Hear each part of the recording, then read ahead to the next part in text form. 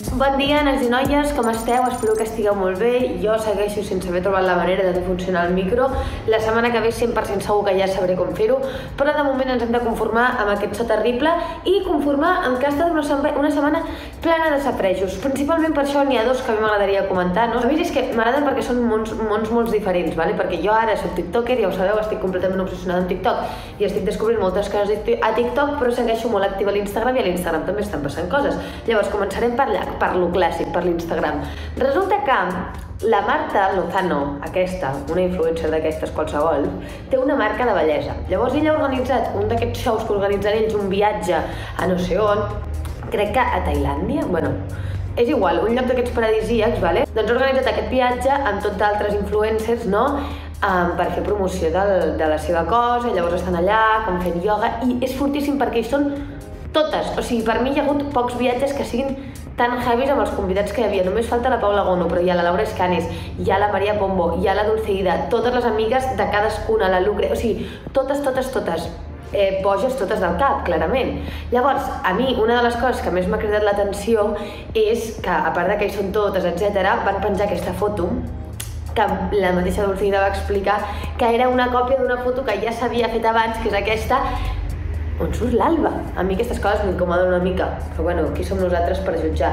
Sobre la Paula Bono no estic entenent què li està passant, o sigui, està tornant com a entrar, l'està veient sortir del túnel i està tornant, crec, a, a entrar en un túnel molt fosc, perquè és que entre que no ha anat això, on segur que l'han convidada, entre que ja no és amiga de la Laura Escanes, perquè estic bastant segura que ja no és amiga de la Laura Escanes, i entre que crec que ho ha deixat amb el seu nòvio, tenim un show aquí muntat que algun dia potser aprofunditzarem, aprofunditzarem mare de Déu, no sé parlar, aprofunditzarem més sobre la qüestió perquè Déu-n'hi-do, noies, la veritat.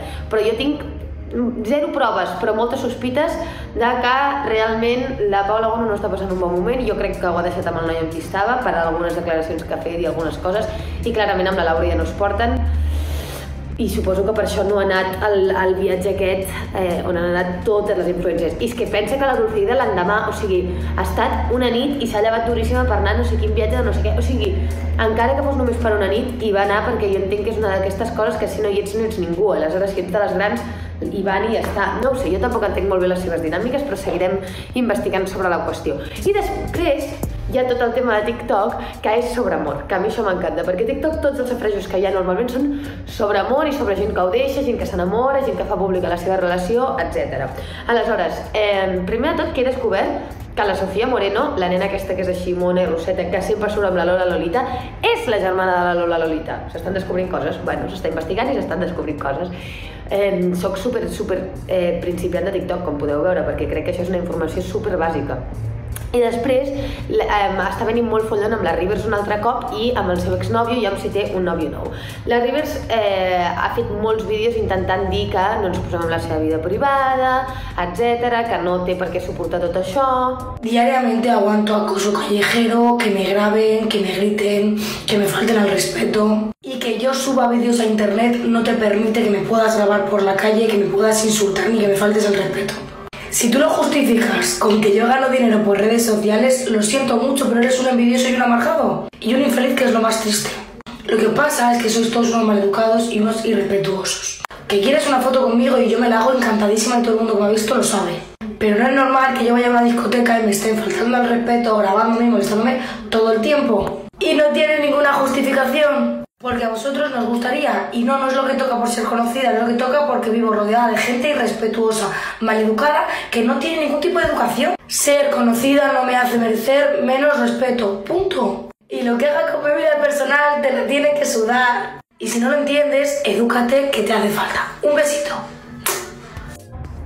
Que és veritat, és que té tota la raó, no, no té per què suportar-ho. La cosa és que la van gravar anant a un centre comercial amb un altre xaval tiktoker que es diu Robles eh, i ara tothom especula que són nòvios. Però és que, clar, la Rivers, abans d'aquest vídeo, ja havia fet un munt de contingut sobre eh, pones eh, el dia que te lies con él, eh, cuelga este TikTok, com coses així que era com, vale, està fent públic que no només s'està embolicant amb gent, que és algo que sabem, sinó que entenem que és una, un joc que va més enllà, perquè si no, no penges uns TikToks absurds sobre um, el dia 4 de novembre me lié por, eh, con él por primera vez, s'entén que és una cosa que et fa il·lusió, que potser no és el teu nòvio, però hi ha una mica de projecció, aleshores tampoc et pots queixar si la gent et diu que, que és el teu nòvio, però bueno. I mentrestant, el Dani, que és l'exnòvio, pobret, penjant eh, vídeos tristíssims amb cors trencats... Hola, ¿cómo estás? Te parecerá increíble que te hable después de un año y te conteste después de un año el mensaje, pero no sabía cómo procesar todo lo que me enviaste y ya sabes que soy un egoísta y al final fui a lo mío.